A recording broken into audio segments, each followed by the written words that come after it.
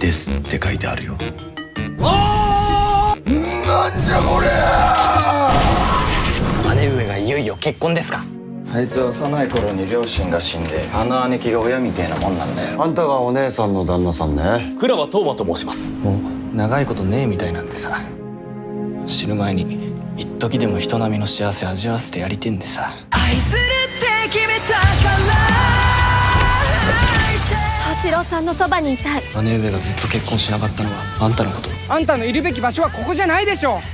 きらぼうで不器用ででも優しいあなたたちが大好きだった。俺はただ惚れた女には幸せになってほしいだけだ。